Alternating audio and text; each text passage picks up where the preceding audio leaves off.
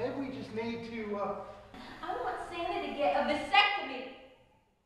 what? The characters in Christmas Belles may be a stretch from your family members, I appreciate it. Thank but you. the Amen. story is heartwarming and relatable this time of year. kind of the hustle and bustle of the holidays.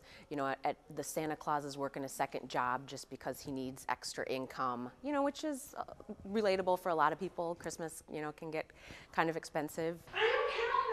The plot follows the events of the Futrelle sisters. One is weeks overdue with twins, and another is in jail after burning down half of a trailer park. possible for a grown woman? And yet another suffers from hot flashes. Hot skillet in five seconds. And Honey Raye is just a hoot. She is she is definitely not who I am in real life. She's sassy, um, she's vivacious. She says what's on her mind, um, and it's nice to be able to escape into something like that. The production is sure to entertain, inspire, and remind people of the meaning of the holiday season. Just some of the messages on, on family closeness, you know, and kind of pulling together through the holidays and remembering what's important. The show opens November 30th and performances run December 1st, 2nd, 6th, 7th, and 8th. Yona Govino, TV6 News, Escanaba.